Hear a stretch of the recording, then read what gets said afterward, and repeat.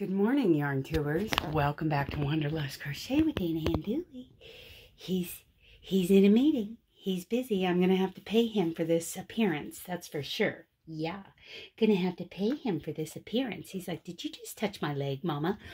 Um, the only thing he does for free is the public service of watering and fertilizing landscape. So, let's talk about let's talk about pot holders and dishcloths, right? This pot holder is in my um, the playlist where I have four videos for kitchen gift sets. Um, this is, I'm going to get out of the frame here. This is a very thick thermal stitch pot holder, right? So, and this one mom has had, I, I don't know when I gave this to her, but it's, it's been around. It's been washed and it's a little, I mean, for my little hands, it's just fine.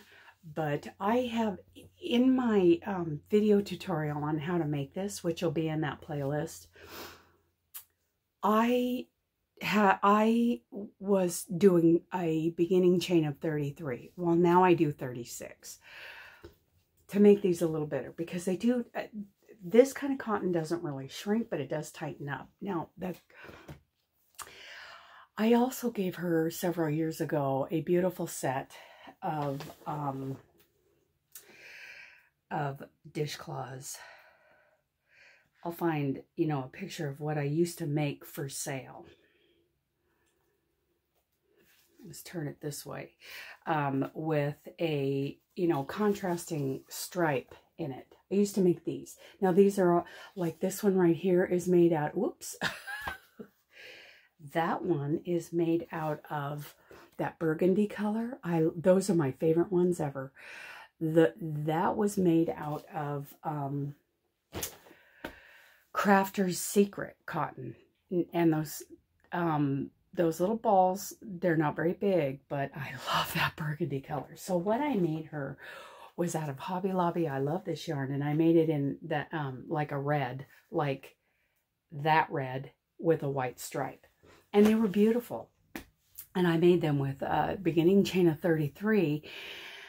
But that, I love this cotton. I mean, those really shrank. And they didn't seem to hold up well, you know, with lots of kitchen use, right? Like these do. And these are wonderful because they're so thick, thick, thick, thick. The heat does not come through these with your hands. And um, there's no sewing, there's no folding over, which I, I'm not a fan of those. I've, I've never made one of those. I've been given those as gifts, which I love. You know, the finished product is great. But um, as far as making pot holders, I love this thermal stitch pot holder. And sugar and cream and peaches and cream hold up a lot better. Um, this, now this is looking dingy and I need to do some laundry treatment with some Amway products, right? This is the, what did I call it? The crinkle stitch, something like. The lemon peel. There are lots of, you know, lots of different names for this stitch. This is also in that playlist. And um, I love this traditional look of a dishcloth. It, um, you know, it has the accent colors. It's done in that lemon peel or crinkle stitch or whatever. And it's got a single crochet border around the edge. Pretty simple. I love this. And once again, the cotton you use makes a difference. Um, and these definitely minimum of a 36 foundation chain, 36 count. Because, yeah, my hands are, are pretty small, but, um, you know, not everybody's hands are as small as mine. So that's, um, you know, and you can make these sets. You see these sets? These sets had um, two pot holders and two dishcloths. And at that time, I was making dishcloths out of um, a mini corner to corner.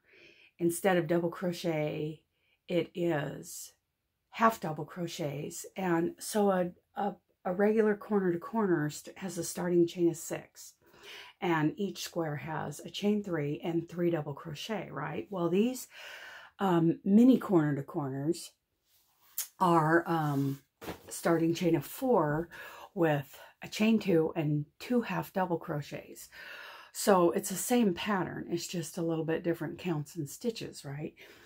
I don't think, so I was selling two pot holders and two dishcloths and I put them together with a little, um, you know, a little torn card with handmade by Dana on them. I sold those at the produce stand in Horseshoe Bend for $15 a set. You can do that. You can absolutely do that.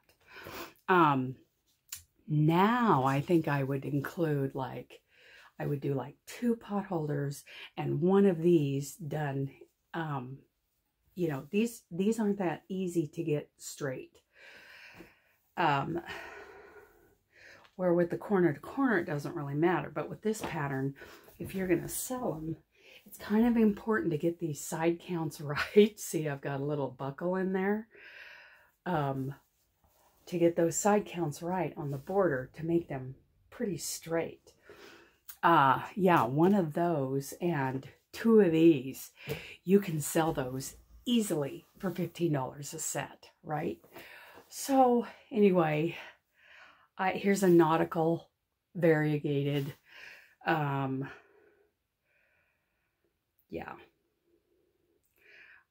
Here's a yellow set, pretty similar to what um, what I gave mom. And, and see how big those pot holders look. That is before washing. So after washing, you know, these, these do tighten up after washing, but that Hobby Lobby, I love this yarn, pretty much shrinks and really fuzzes up. It really doesn't um, hold up, in my opinion, um, for good kitchen use. So I hope this video has been, you know, informative. And I hope you enjoy that playlist that I'm putting in the description box of kitchen sets to make. All right? I love you guys. Bye.